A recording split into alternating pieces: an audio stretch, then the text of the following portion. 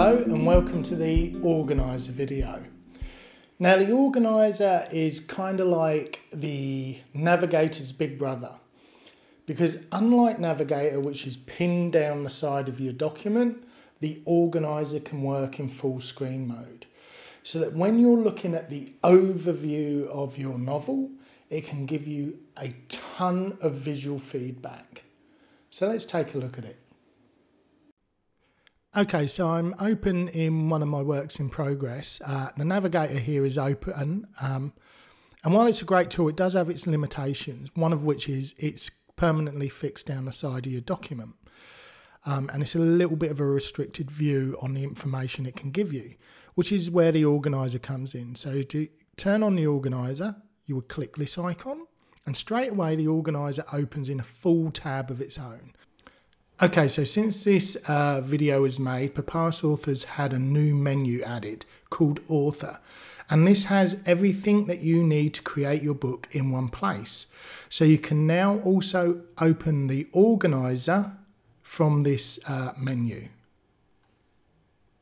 It also has an info column, uh, very much like the one in the navigator that can be turned on and off with this icon.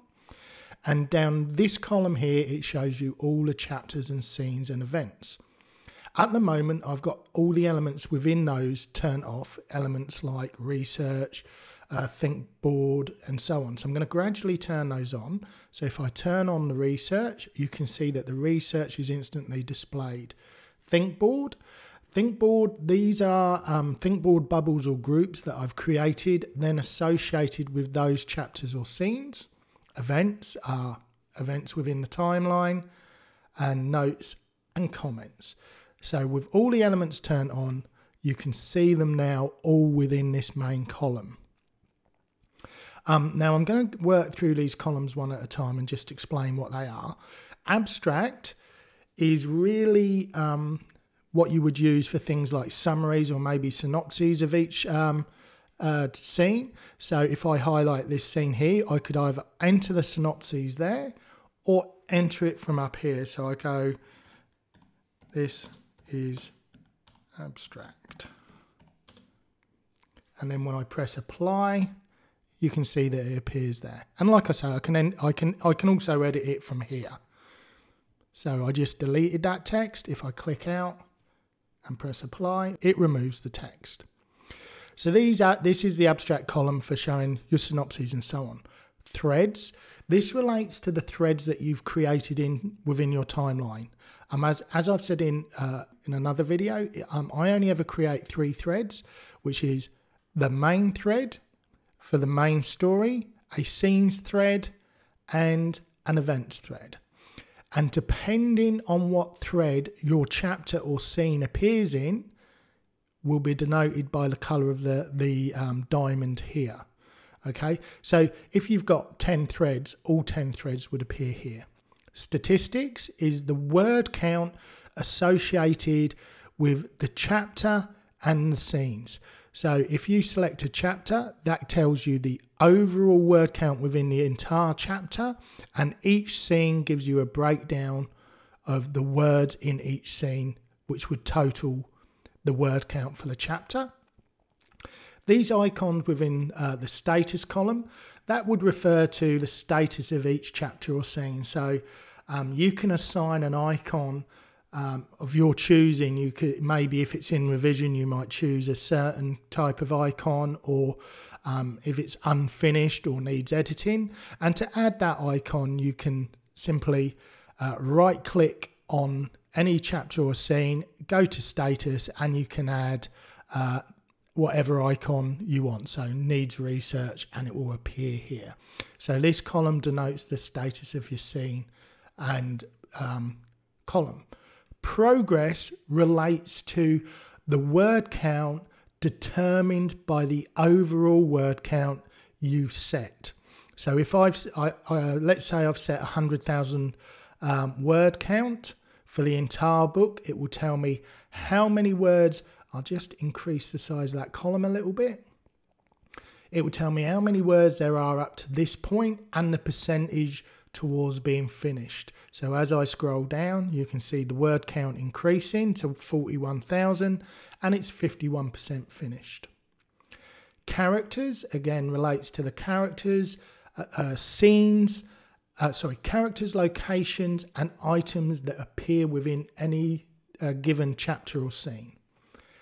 Times uh, relates to the timeline entries created for each one of these chapters and scenes, all of which can be created here. So if you want to create um, timeline entries here, you would, uh, which I won't go over because I've covered this in other videos, you can create those timeline entries here. If you come up to the top of the column and you right click, you can then say what columns you want to appear or not appear. So for instance, if I don't want times to appear, I would simply untick it and times would disappear. If I right click it again and re retick it, the times will appear.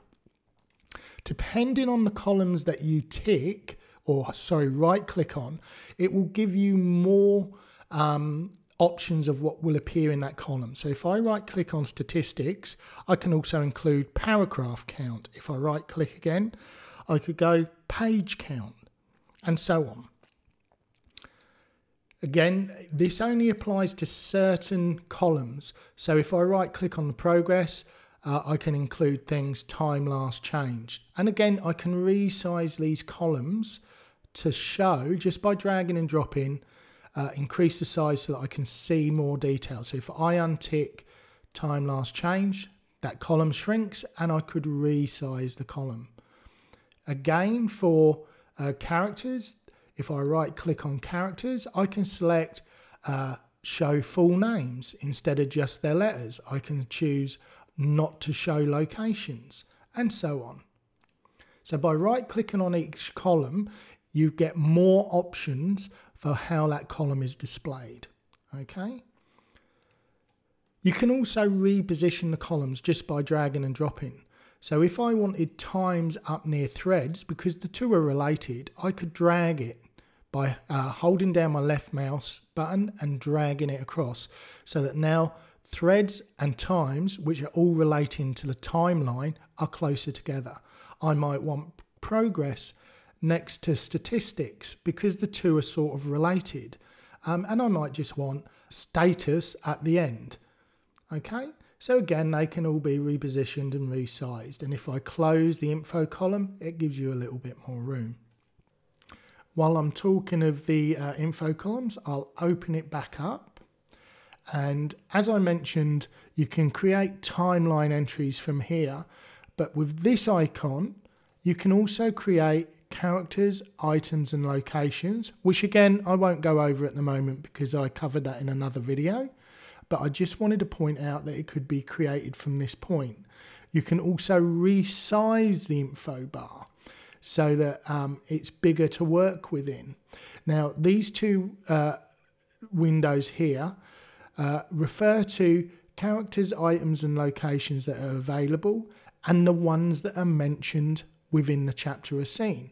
So if you were planning out to mention, say, uh, Captain Michael McAllister, you could drag it to this window and it would show that I had planned to uh, mention this character, but as of yet hadn't mentioned them. If I go to a different uh, scene, you can see it shows then who has been mentioned within that scene. Okay, and if I click through, you can see that changing. Okay, so I'm just going to close the info column again. You can also create things using the organizer. You can create uh, new chapters, new scenes, new events, and you can also delete all of those things. So if I go back to, uh, I'm going to go to the last uh, scene, and if I go back to the main document now, it will have navigated me to the last scene in the book. I'll just close down the navigator. I'm going to insert a page break because I always insert page breaks between chapters. This is just a personal thing. I'm going to insert a page break. I'm going to go back to the organizer and I'm going to go new chapter. and I'm going to make sure that I've selected chapter 15 because I want the new chapter after 15. If I've got 12 selected, it would place the chapter in between 12 and 13. So I'm selecting chapter 15 and I'm going to go new chapter. If I scroll down, I can then name that chapter 16. Enter. And when I go back to the main document, you can see it's created chapter 16. Okay.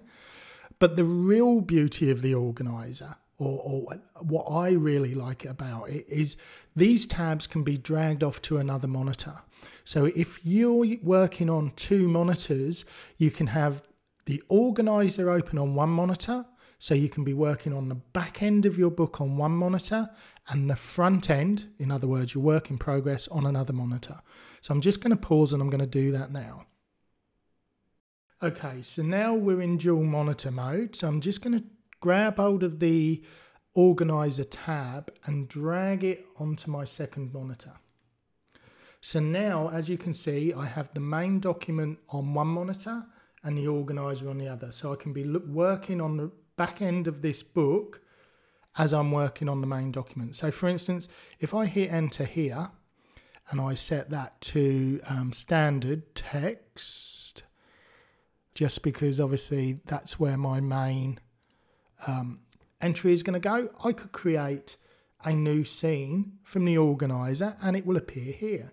So I could go new scene, scroll down, and I'll go uh, scene one.